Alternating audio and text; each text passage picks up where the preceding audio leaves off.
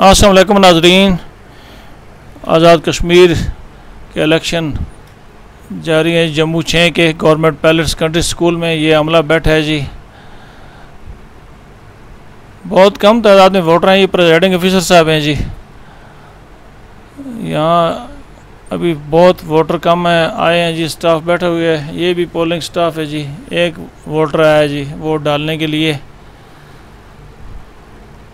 गर्मी की शिदत भी बहुत तेज़ है नाजरीन, लेकिन वोटर भी बहुत कम तादाद में आ रहे हैं। ये अमला स्याही लगा रहा है जी उसको अंगूठे पे, और अब वो अपना अंगूठा लगा रहा है जी बैलेट पेपर पे। वोट भी डाल रहा है जी। नाजरीन, पुलिस ने अमन अमान बहाल रखने के लिए बड़ा अच्छा काम किया है जी। ये अलीट फोर्स की नफरी पैलेट सेकेंडरी स्कूल के बैर चाको चौबंद खड़ी है जी। अमन अमाल बाहर रखने के लिए जी। ये एक माजूर खातून आई है जी, वोट डालने के लिए। वोट कास्ट कर रही है जी। अब अमला जो है, उनको अपना शनाती कार्ड वापस कर रहे हैं जी। ये जी मुस्लिम लीग नून के सलमान सरवर साहब ने विज़िट किया जी पोलिंग स्टेशन का। ये जी ज़िले सदर सलीम शहजाद साहब भी उनके हमरा हैं, बाकी सियासी वर्कर भी साथ हैं जी। ये राजा सदीक साहब आए हैं जी, ये उम्मीदवार हैं इसी हल्के से, और उन्होंने मीडिया से गुफ्तु भी की है, हुकूमत को तनकीद का निशाना बनाया वो आपको सुनाते हैं। असल में, अभी मैंने वोट पोल किया है, और करप्शन की इंतहा हो गया है, और नाली और जाहलीत इलेक्शन कमिश्नर की इंतहा हो गई है कि इतना गलत पेपर छापा गया है। उसमें आप शाम को रिज़ल्ट देखना, आधे से ज़्यादा वोटें रिजेक्ट हो जाएँगी। डबल निशान पर निशान लग जाएगा। यहाँ पे सारे बंदे पढ़े लिखे नहीं, अगर पढ़े लिखे भी हैं तो वो फ़ौर उसको फोल्ड करते हैं पेपर को, बैलेट पेपर को। और दूसरे पे खा मखा जिस साइड से भी आप फोल्ड करेंगे, वो निशान दूसरे पे निशान लग जाएगा। और ये आप शाम को देखेंगे, हो सकता है मेरा ख्याल है ट्वेंटी फाइव परसेंट वोट ज़्यादा हो जाएँगे। और मैं ये सारा इल्ज़ाम मरकज़ी हुकूमत, पंजाब हुकूमत और चीफ इलेक्शन कमिश्नर इसमें मुलवस है। बदयांती का और करप्शन का एक ज़रिया है और इलेक्शन मतलब इस तरह उम्मीदवारों को नुकसान पहुँचाना जो कामयाब, कामयाबी के करीब हो। लिहाजा ये मैं समझता हूँ इसका नोटिस लेना चाहिए। जब वो खुद बदयांती करेगा तो नोटिस कौन लेगा? मगर इन हम इनका कब्र तक पीछा नहीं छोड़ेंगे। अगर हमारी वोटें ज़्यादा हुई तो ये बिल्कुल क्लियर है कि इन्होंने वोटें ज़्यादा करने के लिए अब बूढ़े आ रहे हैं, बीमार आ रहे हैं, बुज़ुर्ग आ रहे हैं और उसमें कोई सारे पढ़े लिखे नहीं हैं। को अंडर मैट्रिक है, कोई किस तरह तो सबको पता नहीं है, कोई फोल्ड किस तरह करना इससे पहले तो होता था कि फोल्ड कर दें ताकि शेर के, निशान के ऊपर या नाम के ऊपर मोर आएगी। अब तो जिस तरह से भी फोल्ड करेंगे, अगर जल्दी में फोल्ड किया तो लाजमी बात है, दूसरे किसी निशान पे साथ उसका लग जाएगा। और इस तरह इन्होंने मेरे हल्का जम्मू छः में, अगर एक घर में मर्दों की वोटें हैं तो जनाना नहीं है। अगर और जनाना है तो फिर मर्दों की वोटें नहीं। और जबकि लिस्टें आवेदा हुई थी, आज से एक महीना पहले, उसमें हर घर के वोट दर्ज थे। और जब, फिर जब इन्होंने फाइनल लिस्ट भेजी तो उन, इस तरह हर हर घर वाला, हर वोटर परेशान है आधे से ज़्यादा वोटें गायब हैं। तो ये कौन कर रहे हैं? ये किसके नादरा किसके अंडर आता है? मरकज़ी हुकूमत के आता है और पंजाब हुकूमत ये टीचरों से ये काम लिया उन्होंने। बदयांती की है।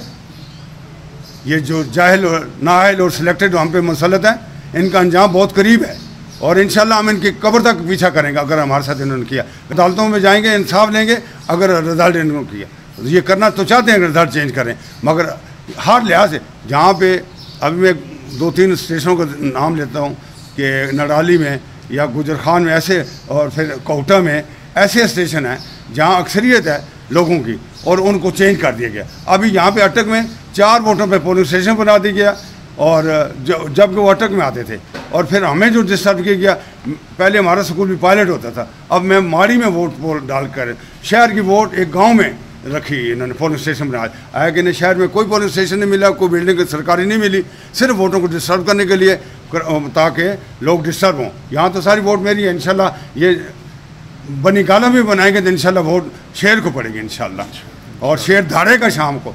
लोग नवाशी पे अतमाद करते हैं। इस करप्ट हुकूम से लोग तंग हैं। ये आज़ाब इलाही है पाकिस्तान पर और पाकिस्तानी अवाम पर। कौम को इस मुल्क को आज़ाद करे। ये जिन्होंने कश्मीर को सौदा कर दिया, मोदी के हाथ भेज दिया, अब ये चाहते हैं कि आज़ाद कश्मीर में कोई कठपुतली हुकूमत कायम हो, मगर इनके नाकाम अरादे जो हैं इन कभी कामयाब नहीं होने देंगे। हम दीवार बन जाएँगे, हम इनको, उधर तक, जाएँगे जहाँ तक ये चाहते हैं इन और ये मैं मैसेज देना चाहता हूँ, ये हल्का जम्मू छः पाकिस्तान मुस्लिम लीग का गढ़ है।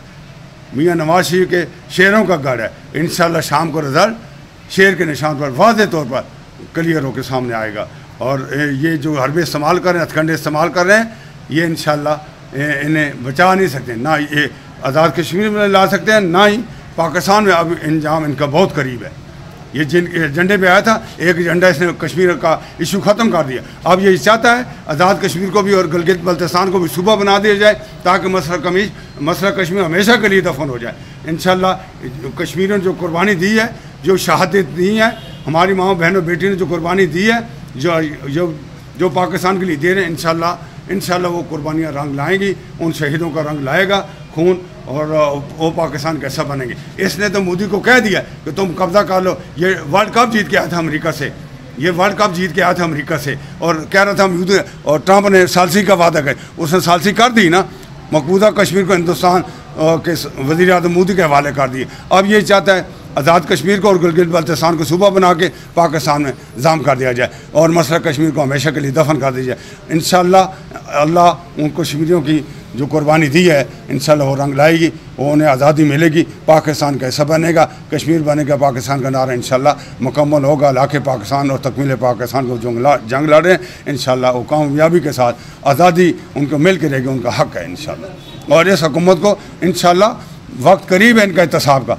ये इन जिस तरह इन्होंने मुल्क हालत किया है माशी तौर पर या खारजी तौर पर तबाह कर दिया, तनहा कर दिया इस मुल्क को। और माशी तौर पर हर घर में अजाब है कि उनका जीना आराम हो चुका है आवाम का।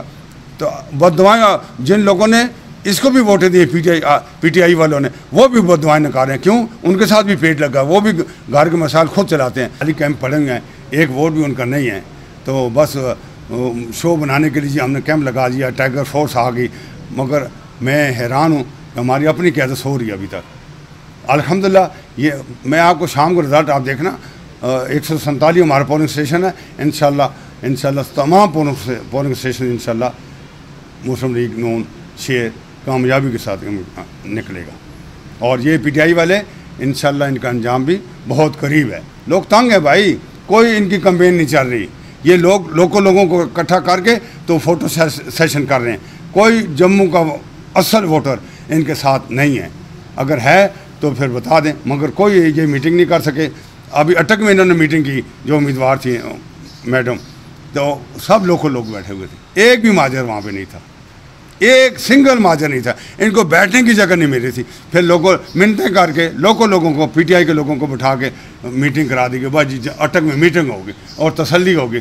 अल्लाह ताला इन्हें इसी तरह तसलियाँ देते रहेगा। शाम को रिज़ल्ट इन पाकिस्तान मुस्लिम लीग इन भारी अक्सी से कामयाब होगी, शेर भारी अक्सी से कामयाब होगा। और हुकूमत हुकूमत इन आज़ाद कश्मीर में, मुस्लिम लीग की हुकूमत होगी। हमारी बहन मरियम बीबी ने जिस तरह आज़ाद कश्मीर में जलसे किए हैं, और आपने इमरान के भी जलसे देखे हैं। कई गुना बड़े थे मरियम बीबी के जलसे। ये इनको मैसेज मिल चुका है कि ये मतलब शिकस्त इनका मुकदर बन चुकी है। और इन इन आज़ाद कश्मीर में मुस्लिम लीग की हुकूमत कायम होगी। मियाँ नवाज़ शरीफ की क्यादत में, राजा फारूक अदर की क्यादत में हुकूमत कायम होगी इन नाजरीन ख़वान भी अपना वोट कास्ट करने के लिए आ रही हैं जी। गवर्नमेंट पैलेट सेकेंडरी स्कूल में। डी पी अटक साहब तशरीफ़ लाए हैं जी, सिक्योरिटी की सूरत हाल देखने के लिए। एस एच ओ साहब भी साथ हैं। Chief security officer Mohammad Naeem Khan साहब भी उनके साथ हैं। मीडिया से उन्होंने गुफ्तु करते हुए बताया जी कि ज़िला भर में फूल प्रूफ सिक्योरिटी अरेंजमेंट किए गए हैं और बड़े मुनसफाना इलेक्शन हो रहे हैं और किसी जगह से भी कोई शिकायत नहीं है जी सिक्योरिटी के हवाले से जी। तमाम जगह पे पुरमन है माहौल और फ़ौज बुलाने की अभी कोई ऐसी सूरत हाल नहीं है कि उनके बुलाया जाए जी। ये नाजरीन एम सी आई स्कूल में पुलिस एहलकार अपने फ़रज़ अंजाम दे रहे हैं अलर्ट खड़े हैं जी। सूबाई वज़ीर साहब ने पोलिंग स्टेशन का विज़िट किया है, उनकी गुफ्तु आपको सुनाते हैं। करदू से लेकर इस्लामाबाद का चार पाँच घंटे का रास्ता रह जाना है। तो इनको जो मौत नज़र आ रही है कि तरक्याती काम, इतने वसी पैमाने पे जब होंगे तो तभी मीशत का पहिया भी चलेगा। मीशत का पहिया चल गया, जो अभी चलना शुरू हो गया तो इनकी हार ही हार है, क्योंकि देखिए, बदकिस्मती से ये वो इस माँ के बदबख्त औलाद है कि जिनने सिर्फ़ इस मुल्क को लूटा है, आप जिसका भी नाम उठा लें।